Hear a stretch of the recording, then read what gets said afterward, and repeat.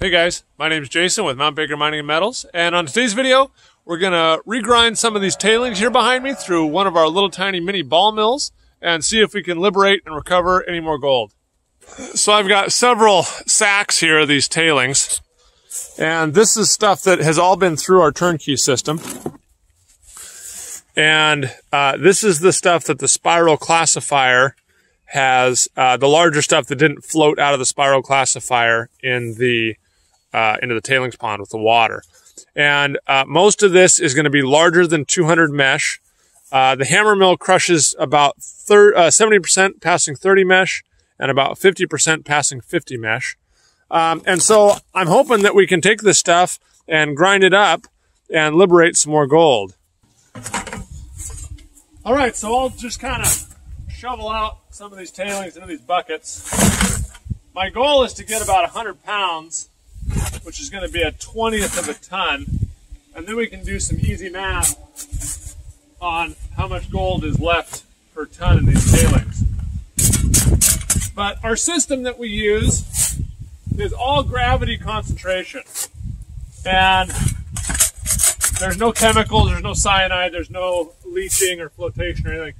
And so there's a limit to the size of gold you can capture with gravity recovery and you can't, you know, there's, there's, it's about two to 300 mesh, maybe 400 mesh, and then your recovery really starts to taper off because the gold is so fine that it, it just can't settle in the water down onto the shaker table or in the sluice box or whatever you're using. And um, we use a shaker table. It has uh, really very good recovery, but again, there's a limit. And so um, a lot of the bigger uh, mills and mines, they use flotation, they use cyanide, um, which is, you know, really, really good at catching that, that super fine gold, that 500, 800, 1000 mesh gold.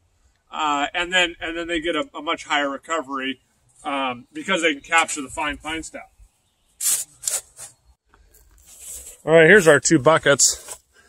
And I just got them weighed. There's a, there's 107 pounds here and I went over because the sand's a little bit damp.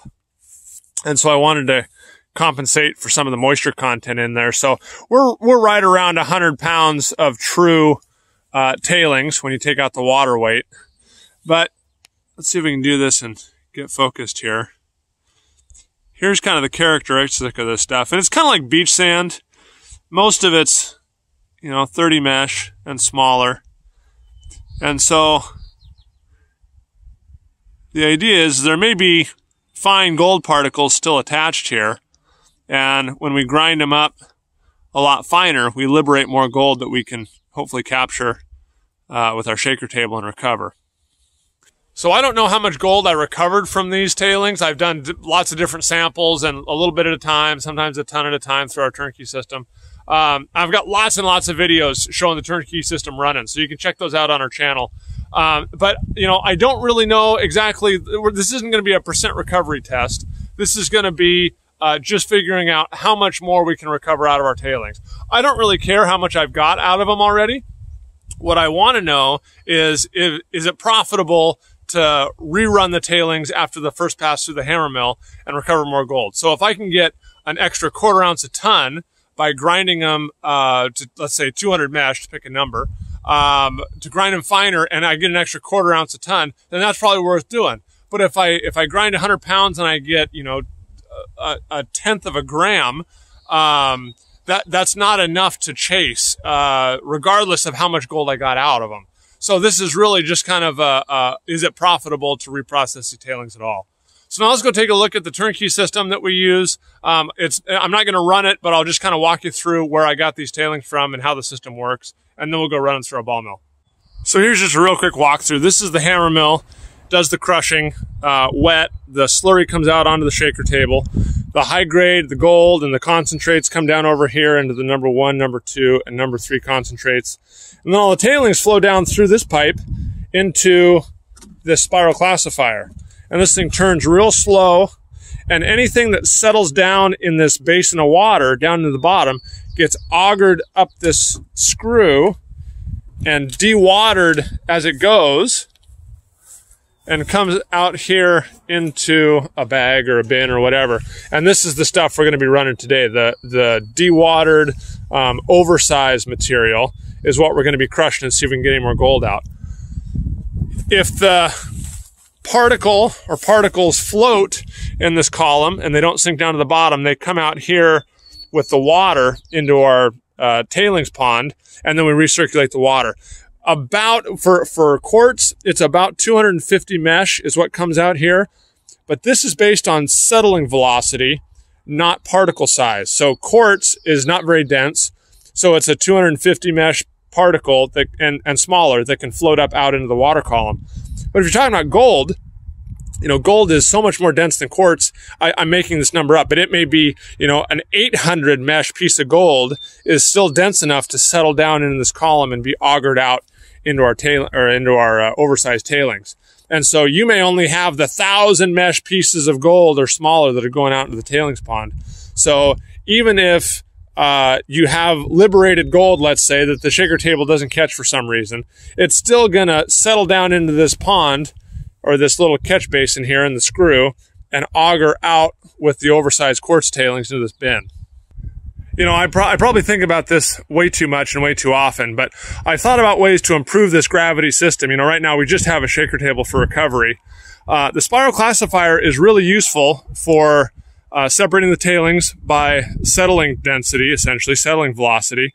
Um, so the oversized stuff comes up here for regrind and the fine stuff comes out here with the water. Now, if you wanted to kind of juice this system up a little bit, you could have your primary shaker table for recovery. After your material gets augered up the spiral, it would flow into a ball mill for fine grinding, a shaker table for uh, secondary recovery, and another spiral that would just auger it back up into the into this into the ball mill. So it'd be a continual circuit until it got so fine that it could come out of the second spiral into the tailings pond. The fine stuff that comes out of the first spiral and the fine stuff that comes out of the second spiral would go into a flotation cell and you could recover your, uh, any fine sulfides or any free gold that, uh, was lost because of our gravity recovery. And you could make a secondary con out of your 200 mesh minus material and uh, you could increase your recovery quite a bit from over just a gravity circuit. So those are the initial thoughts on, you know, how to improve the, the current system we have. Right now, this system is a great system for uh, initial testing and recovery. You got the jaw crusher, uh, a little vibrating feeder for uh, metering the material up into the hammer mill, primary shaker table, and then uh, a tailings management system down here in the bottom. So this works really, really good for sampling, processing, uh, bulk sampling, that kind of thing. But there are certainly ways to improve this, uh, the system and uh, flotation and regrinding would be a good way to, to do that. All right, well, here's this little mini ball mill, um, and it actually vibrates. This is a huge vibrating motor here. It's on springs here, four springs on each corner, and on the inside, it's full of manganese steel balls. And I'm gonna, it's a batch mill, so I'm gonna add uh, our material in here, close up the lid, and turn it on and just let it run. Um, and I was thinking on the way over here that normally I, I fill it up about you know a, thir a third uh, with balls, and then uh, you know a lot of the the space in between the balls gets filled up with with muck, and so about half full or, or two thirds full with material. They turn it on and it vibrates and, and it crushes it all up. But um, I usually do it wet and I usually add uh, a bunch of water to it. But I'm gonna actually try it dry this time. I'm gonna take our, our two buckets and uh, just put them in there dry, turn it on for half an hour and see what happens, see what it looks like. Um, so that's our plan.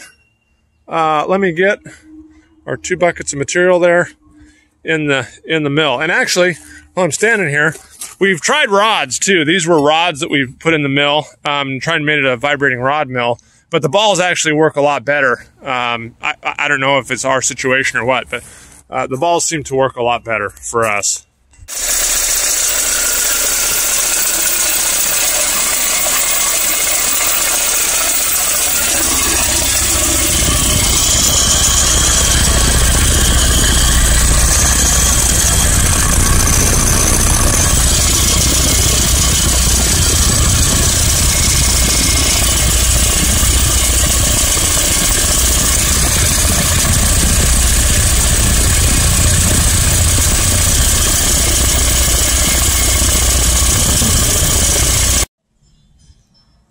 All right, guys. Well, here is the inside. I've got about 20 minutes of runtime on this, and it's quite a bit finer already. There's still some coarser grains in there, but a lot of that stuff has been pulverized pretty good. But that's pretty good for 20 minutes. So I'm going to put the end cap back on. We'll run another 20 minutes and see where we're at. All right, guys, we've got another 30 minutes.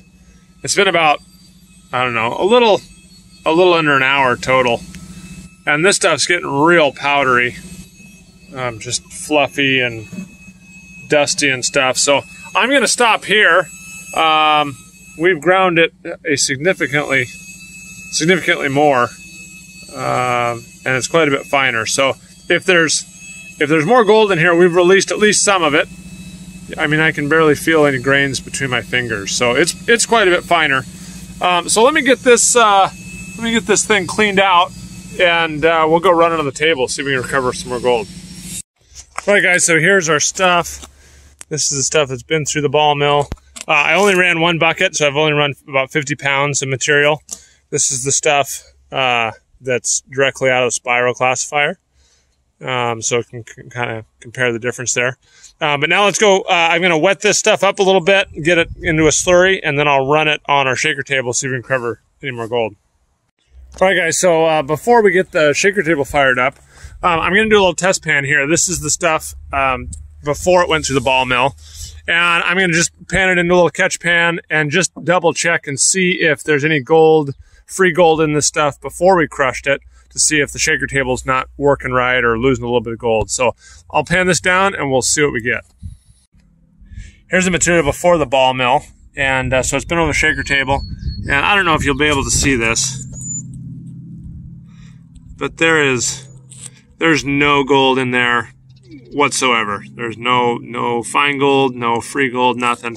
There's just a little whisper of black sand here and uh, some looks like pyrite maybe. Um, but there's no free gold that I can pan out of the the tailings before we ball mill them. So now let me do a little pan, a little test pan here, and see if there's any gold in the stuff we did ball mill. All right, I just took my ball mill sample and I just got it wet. I was going to pan it down, but see this the sheen here on the surface? That's all um, pulverized, super, super fine sulfides. And I didn't see that at all with the uh, tailings before the ball mill. So the ball mill is actually pulverized and liberated, you know, some some uh, some extra black sand sulfides. And so that's I don't know if that's a good sign or not, but it is what it is. And I, I saw it, so I thought I'd uh, at least show you guys that part. So let me get this fine stuff panned down and we'll see what we get. All right, we got our focused. Here is the stuff that I panned out of the ball mill. And there is some fine gold there. So we've liberated, so I can get a real nice close up here. We've liberated some more gold by grinding it finer. So that's really cool. I, I mean, you know, I, I had a pretty good idea this would work, but, um, proof's in the pudding, right? So we got our gold. The other thing that's interesting here, back out and focus, is there's a significant amount more black sand here than in the first in the in the tailings off the before we, we ran into the ball mill. So um, not only did we liberate more gold, but we also liberated some more sulfides from the uh, larger pieces of quartz tailings that, um, you know, you had a little piece of quartz and a little piece of black sand or sulfide, and it wasn't dense enough to come across the table into the number three concentrates. Um, but after grinding it, you know, you can separate them out with a pan and, and hopefully on the shaker table here. So, um, that's really encouraging. Let's get this stuff, uh, run on the shaker table and we'll see how much additional gold we get out of 50 pounds. Okay, we got our stuff mixed up here. I uh, I just used a, a, drill and a paint stirrer over here. Put a little water in there. If you try and uh, feed dry, fine material on the shaker table, it just all floats away. Um, and I'm going to feed it here kind of halfway along the distributor trough. Normally you feed it over there where the hammer mill chute comes in. Um, but it's so fine and there's not very much. So I'm going to feed it over here and just kind of help it along. The shaker table has a little bit of coarse stuff on it, just from leftover stuff. Um, but yeah, I'm just scooping it out of the out of the tub here and pouring it down onto the shaker table. And one of the things that stirring it with a paint stirrer does, I, I believe, is all the gold goes to the bottom of the bucket. So there probably won't be much going on here until the very end when I pour the last two inches of stuff from the bottom of the bucket because that's where all the gold went to when I stirred it all up and mixed it up. So I'll pour this stuff on and uh, I'll check in with you here in a bit when I got this, this all run and we can look at the gold we got. All right guys, I got our whole bucket run and little pile of gold there, little streak of gold coming up the first riffle here, a long groove up to the, the cleaning plane here. A little bit of gold, maybe hard to see here. So there was actually a significant amount of gold that um, was released by grinding it finer. And, and actually there's uh, black sand down all these other grooves that I believe we've liberated from the crushing. So uh, a significant amount more sulfides were liberated as well as free gold. So we'll get the table brushed down and get it all in a pan and we'll pan it out and see how much gold we got. Here's a nice little line of fine gold that I'm getting on the table as I brush all this stuff up under the water bar. Um, and at the end of a run, you got to brush the table down. A lot of the stuff just stays in the grooves. Um, so we'll get this, like I say, all brushed down. It's all just going down in there. And the number one concentrates right down here. And we'll get it in a pan. But we got we got quite a nice little line of gold there. Okay, guys. Well, there's the gold from 50 pounds. So there is a significant amount of gold in there we recovered just from regrinding. So all that gold was still attached to some particle. And when we ground it finer, we released it so the density of the pure gold would settle down on the shaker table and be recovered. But but that is a that's a lot of gold. I'm gonna that that's enough gold that I'm gonna suck that out of there and we'll melt it down into a little button. We'll cupel it, and uh, we can weigh it. And because I did 50 pounds, I can multiply that button by 40, and it'll tell us how much more gold per ton we have in our sack. The other thing here that's pretty interesting is there's no large coarse pieces of gold. It's all really really fine. So um, I think what that tells me is that crushing through our hammer mill liberates the large gold, but any fine gold that is still attached um, can be liberated with finer grinding. So I just want to throw that out there. But uh, let's uh, get this sucked out and get it cupelled and get it weighed. All right, guys, real quick abbreviated version. Uh, I sucked the gold out into this snuffer bottle. I'm going to take the straw of the snuffer bottle out, turn it over, and get the gold here in this blue shop towel. And then I'm going to put that shop towel, wring all the water out, put the shop towel in a cupel, which looks like this. I'm going to put it in a furnace, heat it up to about 1850 degrees. I'm going to put a little bit of bismuth metal in there, which is going to oxidize uh, in the oxygen in the furnace. It's going to take with it all the base metals and leave a little button of precious metal gold and a little bit of silver. It'll be an alloy, obviously, but this ore has very little silver. Um, so it'll be a nice little yellow button in the bottom there. Then we can get it weighed and figure out how much gold is left in our tailings. Free gold that we can recover by a grinding finder, I should say.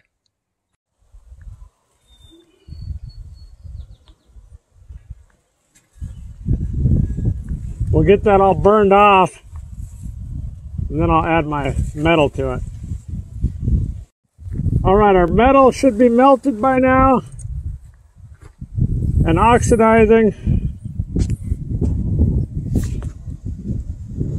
I don't know if you can see, it looks like little raindrops on the surface. So we'll let that go and uh, all that metal oxidize. All right, guys, we got it pulled out of the oven. It's cooled down a little bit here, but let's get it plucked out of there and get it weighed. Nice little gold bead. All right, guys, here's our scale. Here's our little bead.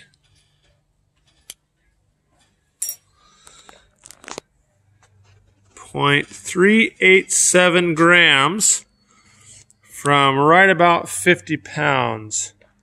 So let me do some math. We'll figure out what we got.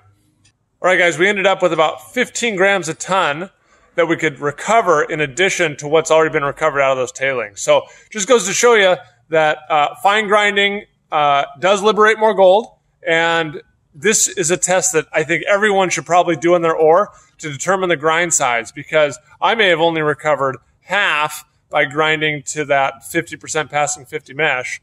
Um, and so, so to, to know that up front is way, way important uh, before you buy a whole bunch of machinery and figure out, you know, you're, you're missing half your gold. So um, I also want to do a little word of caution here, just because this ore needs to grind really, really fine to get a high percentage. It does not mean that all ore needs to be ground super fine. I've seen some ores that have the gold is, is huge. It's it's mostly large pieces and it doesn't need to be ground to 300 mesh to liberate a bunch of gold. Whereas this stuff, you might have a 80 or 90 percent liberation at uh, at 200 mesh grind or 150 mesh grind. So thanks for watching the video, guys. If you have any questions or comments, you can find our contact information in the description below. So thanks again for watching, and we'll see you on the next one.